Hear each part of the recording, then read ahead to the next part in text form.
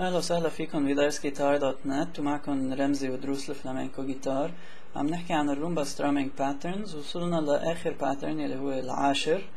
وهال pattern مؤلف من عشر خطوات. أكترية ال patterns اللي حكينا عنهم مؤلفين من ثمانية.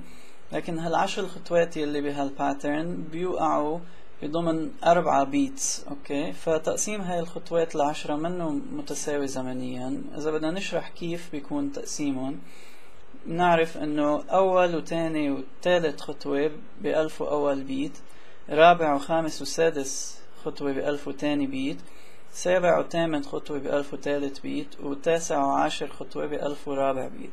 okay؟ هلا هال pattern منه كتير يستعمل. أنا سامعه بمعزوفة لباكو دي لوسيا اسمها Rumba Improvisada بآخر هاي المعزوفة بيستعملوا هال strumming pattern فيكم تتعلموه بس بده تمرين منيح يعني صعب شوي okay؟ فخلينا نحكي عنه. مؤلف من أول خطوة اللي هي P لتحت مع golpe AM تحت ال trebles بعدين golpe تحت ال trebles AM golpe فوق ال basses بال P بعدين في عنا golpe فوق ال basses مع AMI لتحت بهالطريقة. بعدين في عنا P rest stroke على سادس string.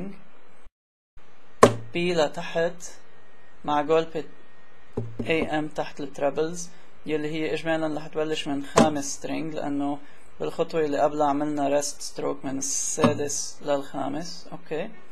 سابع خطوة بتكون golpe AM تحت ال trebles تامن خطوة golpe بال P فوق ال basses تاسع خطوة golpe بال P فوق ال basses مع AMI لتحت.